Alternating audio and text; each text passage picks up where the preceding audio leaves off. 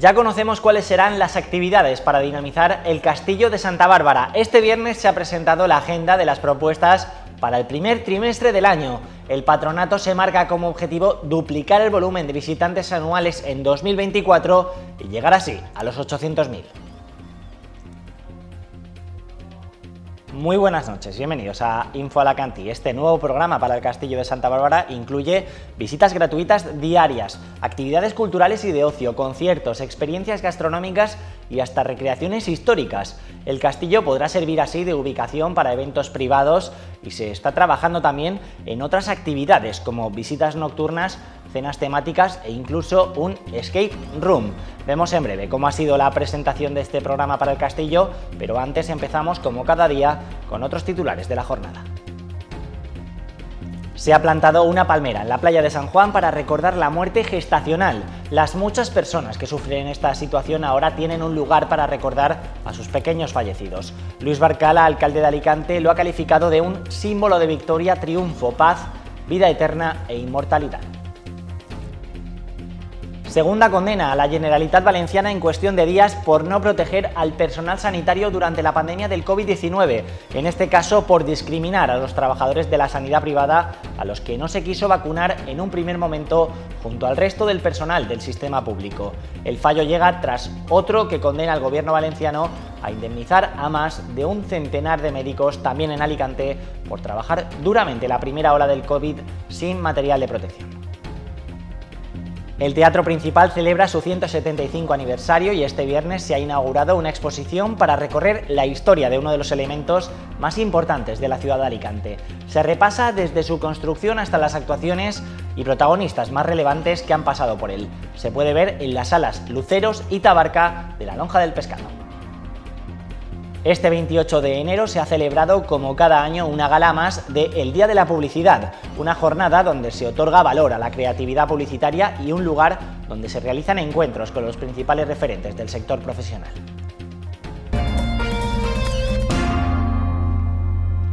Ya conocemos la nueva programación dinamizada de visitas y actividades culturales previstas para este primer trimestre del año para el Castillo de Santa Bárbara, una programación que se ha presentado este viernes ante el sector turístico alicantino y que se basa en una colaboración público-privada con el Patronato de Turismo.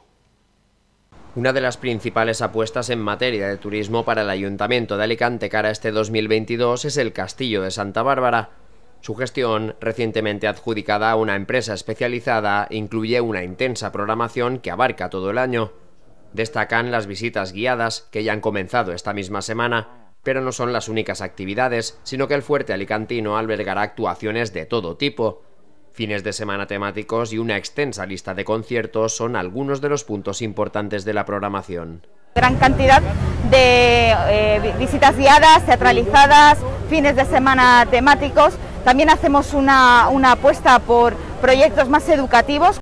Un punto a destacar respecto a la agenda de actividades del castillo es que buena parte de ellas tendrán carácter gratuito, una medida pensada para fidelizar a los turistas y que tanto alicantinos como visitantes vuelvan a visitar el baluarte en más ocasiones. Dotarlo de vida para que tanto turistas como alicantinos pues siempre tengamos un motivo para volver al castillo Santa Bárbara. Tendremos conciertos, tenemos eh, apuesta por el producto de kilómetro cero. Desde el Patronato Municipal de Turismo consideran que el Castillo de Santa Bárbara supone uno de los principales monumentos de la comunidad valenciana. La Junta de Seguridad de Alicante ha renovado el convenio de colaboración entre el Ayuntamiento de Alicante y el Ministerio del Interior para la adhesión al sistema de seguimiento integral de los casos de violencia de género. El convenio ha sido suscrito por el alcalde de Alicante, Luis Barcala, y la subdelegada de Gobierno, Araceli Poblador, con el objetivo principal de establecer la forma de colaboración entre la Secretaría del Estado de Seguridad y el Ayuntamiento de Alicante. Se busca profundizar en las medidas de protección a las víctimas de violencia de género, mejorar su eficacia y prevenir así también el riesgo de nuevas agresiones. El Ayuntamiento de Alicante ha aprobado este viernes en una junta extraordinaria de acuerdo para el nombramiento de 166 funcionarios interinos que van a reforzar los equipos de atención de la Concejalía de Acción Social. Las contrataciones darán estabilidad al nuevo equipo y se da así un impulso para agilizar la atención y gestión de las personas más vulnerables y que mayor atención precisan en la ciudad de Alicante. Alicante se ha sumado al recuerdo de la muerte gestacional y lo ha hecho con la plantación de una palmera en el parque de la avenida Países Escandinavos en la playa de San Juan. El alcalde de Alicante, Luis Barcala, ha afirmado que esta palmera es un símbolo de victoria, de triunfo, paz, vida eterna e inmortalidad. Y es que, por desgracia, muchas personas sufren esta situación y ahora tienen un lugar para recordar a sus pequeños fallecidos. Una palmera en el parque de la avenida Países Escandinavos, en la playa de San Juan, recordará desde hoy a la muerte gestacional un acto al que ha asistido el alcalde de Alicante, Luis Barcala, y ha estado acompañado por la presidenta del Colegio de Enfermería y Familias que han sufrido una muerte perinatal. Creo que es muy muy bonito en un parque, en un espacio público, en un sitio tan bonito como, como este, este parque, eh, conmemorarlo con, con, una palmera y lo que simboliza la palmera, eh, para que haya un lugar de recogimiento, un lugar de, de recuerdo, de aquellos, como decía una de las madres, de aquellas mariposas que, que volaron. ¿no? Junto a la palmera se ha colocado una placa en recuerdo de los bebés que nos dejaron demasiado pronto y que en el primer semestre de 2020 en la provincia de Alicante fueron 17 en total. En lo que respecta a España, se calcula que mueren anualmente casi 2.500 bebés en este periodo.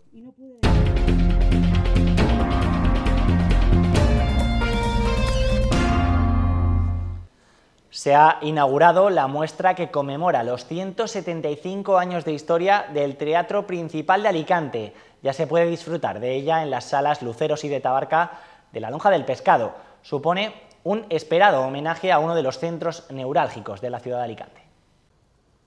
El Teatro Principal de Alicante, el corazón cultural de la ciudad, cumple en este 2022 175 años de vida una efeméride que ha motivado la exposición que ha sido presentada en la lonja de pescado alicantina. En sus dos salas, Luceros y Tabarca, se recoge toda la historia de este mítico edificio. La muestra está distribuida en torno a cuatro espacios temáticos que dan cabida a temas como la arquitectura del teatro, las funciones llevadas en él, la publicidad de las mismas o los estudios que se han centrado en esta infraestructura cultural. Una vez que se abra el telón de este viaje por el camino que ha recorrido nuestro teatro, nos va a llevar desde los inicios de la andadura hasta el patio de butacas, donde la tecnología imperante en esos tiempos y la de ahora se juntan para hacernos un viaje interesante por la historia de este Coliseo. 175 años se dicen pronto. La exposición utiliza recursos tecnológicos de última generación para posibilitar un mejor conocimiento del teatro principal, todo en una muestra orientada a revalorizarlo como epicentro cultural de la ciudad. Como en todas esas grandes capitales de todo el continente europeo, esa zona peatonal, esa plaza que permite el disfrutar en torno al teatro de referencia, al teatro principal de la ciudad de Alicante. La lonja de pescado de Alicante acogerá esta exposición de gran valor histórico hasta el próximo 18 de abril. La Concejalía de Urbanismo que dirige Adrián Santos alcanza los 8.336.000 euros en el proyecto de presupuestos que ha presentado el equipo de gobierno para su próxima aprobación. Este incremento supone una subida de un 6,7% para llevar a cabo iniciativas que van a alcanzar los 28 millones de euros en el año 2022, contando con los fondos aportados desde los remanentes de tesorería, de créditos y de los fondos europeos. Entre los proyectos presupuestados destacan los 2.941.000 euros destinados a los proyectos ubicados en la zona de Dusi, que contemplan la licitación de la rehabilitación integral de la Casa de la Misericordia en las Cigarreras y la segunda fase de las obras en el Castillo de San Fernando, con construcción prevista de la pasarela de acceso a la fortaleza. Este viernes se ha celebrado el Día de la Publicidad, tal y como se hace anualmente. Se realiza con el objetivo de dar valor a todos los aspectos de la creatividad publicitaria, dinamizar la profesión y difundir su actividad planteando encuentros con algunos de los principales referentes del sector a nivel nacional. Dinamizar la profesión y difundir su actividad planteando encuentros con algunos de los profesionales referentes del sector a nivel nacional ha sido la idea central de la jornada anual organizada por la Asociación de Empresas de Publicidad de la provincia de Alicante 361 grados con motivo del Día de la Publicidad. Creo que nosotros debemos replantearnos constantemente nuestra profesión, replantearnos qué es la publicidad, replantearnos cómo es la publicidad ahora, replantearnos cómo es el público, cómo son los medios, replanteárnoslo todo para seguir avanzando un poco. Entonces, eventos como estos nos permiten tener, por ejemplo, hoy tres visiones contrapuestas o, o diferentes. Una edición que propone una reflexión acerca de la propia denominación de la actividad desarrollada por el sector. Profesionales que han llegado a la ciudad fortaleciendo el turismo de congresos. Eso significa que la provincia de Alicante siempre ha sido pionera en materia de, publicidad y de innovación y yo creo que eh, ponerlo en valor es digno de admirar y sobre todo también lo que está significando es que el turismo de congresos en la ciudad de Alicante sigue más vivo que nunca y todo pese a la situación que estamos viviendo ya desde hace casi, casi dos años. Las jornadas se han desarrollado en el auditorio de la Diputación Provincial de Alicante.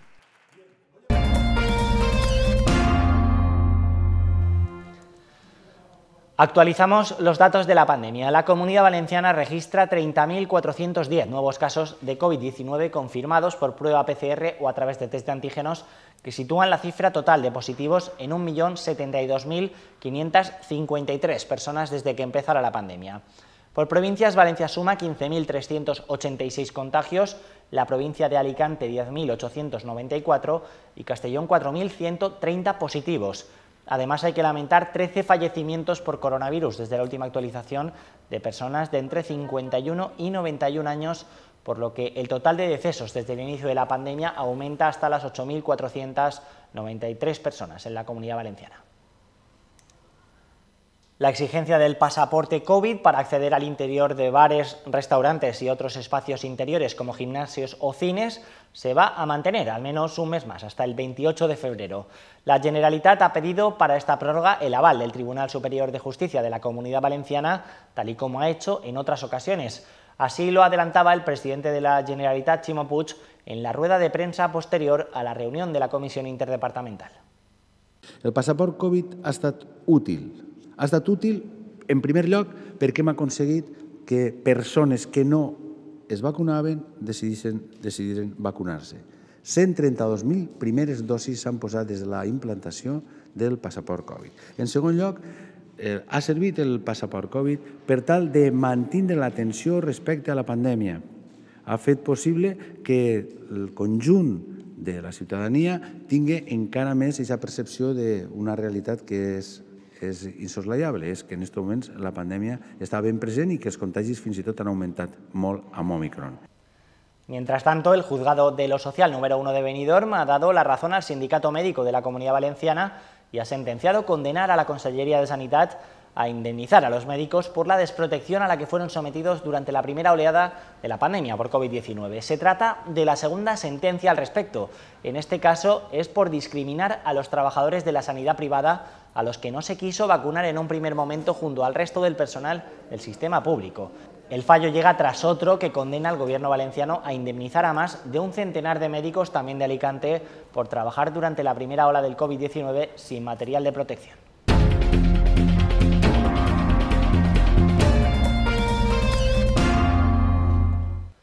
Hablamos ahora de Sisona, que ha celebrado su pleno ordinario del mes de enero.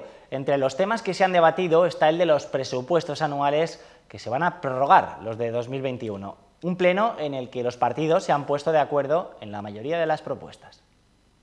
La confección de un presupuesto anual es un arduo ejercicio para todos los ayuntamientos y sus responsables políticos y técnicos, algo más complejo si cabe para ciudades grandes que para localidades menos pobladas. Sisiona se encuentra en el segundo caso y ya conoce sus cuentas para el 2022. Serán las mismas que las del ejercicio del año pasado para un equipo de gobierno que no necesita grandes modificaciones en este sentido. Según Hacienda, las partidas de 2021 son perfectamente válidas para continuar con los proyectos este año. A ello cabe sumar la posibilidad de llevar a cabo modificaciones de crédito y la financiación procedente del remanente. Son capaces de resistir eh, esta prórroga este año, es decir, que no hay ningún problema a nivel de funcionamiento, a nivel de gestión eh, con los presupuestos que tenemos aprobados ahora mismo. Tenemos un remanente positivo y dinero en el banco eh, y podemos incorporar más dinero. La decisión la ha tomado el Pleno Municipal de este jueves 27, que ha estado marcado por la unanimidad de todos los partidos a la hora de votar las propuestas. Que se apruebe por unanimidad, además, eh, la mayoría de los puntos, pues es un refuerzo también a toda la labor del equipo de gobierno y, y también pues la idea de lo bien que se ha funcionado está dentro del pacto. Las cuentas municipales Sishonencas se mantendrán así cerca de los 8 millones de euros para este 2022. Y seguimos en Sisona, ahora que se cumplen 77 años del holocausto, están buscando a los descendientes de su vecino que perdió allí la vida, Francisco Cots Sirvent. La Generalitat Valenciana ha reconocido el sacrificio de las víctimas del exterminio nazi de la comarca y ha entregado la placa conmemorativa al ayuntamiento que ahora busca a sus familiares para rendirle su homenaje. Aunque haya sigut 77 anys després, però és important reconèixer-lo perquè és important en el món que vivim eh, tenir present les coses que es passen quan hi ha, quan hi ha dictadures, quan hi ha feixisme i que no tornen a passar. Començarem a rascar més per l'arxiu, a veure si trobarem en l'arxiu, nosaltres en l'arxiu municipal, mirar a veure si, si n'hi ha més dades i algú, posarem també les xarxes, les sisoners i sisonenques puguen conèixer no, de que a Sisona també va haver gent molt valenta que, que se'n va anar i que va tenir aquest, aquest final, no? però bueno, que va lluitar eh, per les llibertats que avui tenim. Y de Sisona nos vamos hasta el Campello, que ha aprobado en su pleno, por unanimidad de todos los grupos políticos, crear una partida en los presupuestos del año 2022 circunscrita al área de medio ambiente denominada Proyecto Parque, para poder ejecutar el Parque Forestal El Poblet, en la calle Orihuela. El proyecto del Parque Forestal El Poblet nació con la intención de regenerar ecológica y paisajísticamente este área creando un espacio natural que mejorará el paisaje próximo, propiciando también la biodiversidad. Un parque periurbano con cubierta vegetal y dotaciones complementarias a las de la población circundante con el objetivo de definir un espacio de encuentro para los habitantes del Campello. Y este viernes se ha celebrado la primera convocatoria de FEMPA y de FEDA para la acreditación de profesionales del mantenimiento del ascensor, un sector que presenta una oportunidad laboral ya que se trata de una profesión demandada por el mercado.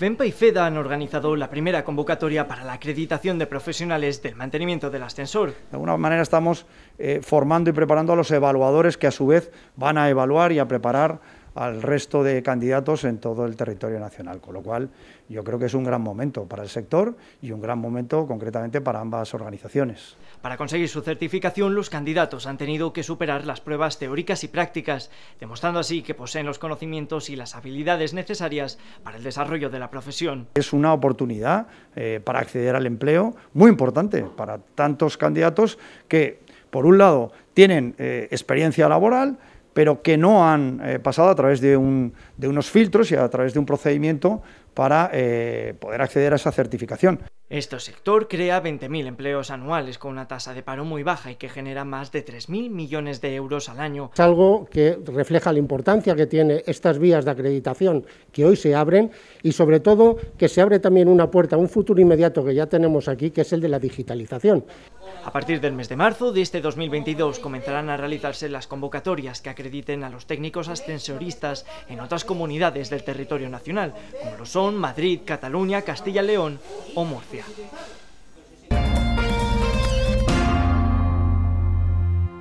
Terminamos como siempre con la actualidad deportiva. Queda poco para el derby entre el Hércules y el Intercity de este domingo, que recordamos se va a poder seguir en directo a las 5 de la tarde aquí en esta casa en Alacantí Televisión.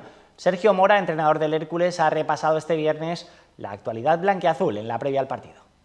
Es un partido que nos va a dar también tres puntos, que nos va a hacer continuar en, la lucha por estar arriba.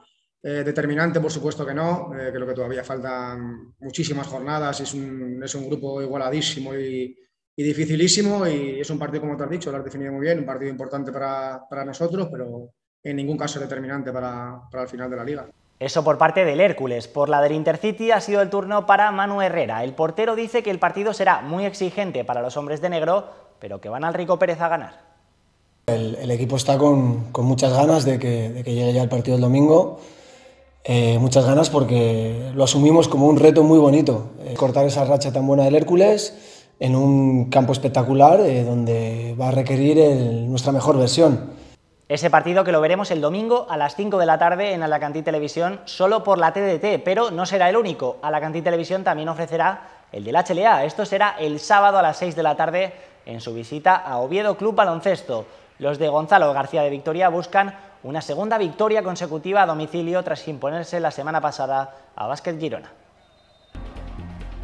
Hasta aquí toda la actualidad alicantina del día de hoy. Ahora les dejamos como cada día con el tiempo con nuestro compañero Jordi Payá recuerden que además de toda la programación deportiva con el Hércules Intercity del domingo y el partido de HLA el sábado, tienen también una nueva entrega de este fin de semana de los clásicos de Alacantí Televisión. Podrán disfrutar este sábado y domingo de El Buscavidas y de Una Noche en la Ópera. Nosotros volvemos el próximo lunes a la misma hora en Info Alacantí y como cada día les recordamos que pueden seguir al minuto todas las noticias en nuestra página web en alacantitv.com y también a través de todas nuestras redes sociales. Aquí termina una semana que acaba de una forma muy triste para los alicantinos, sobre todo para el mundo de las hogueras.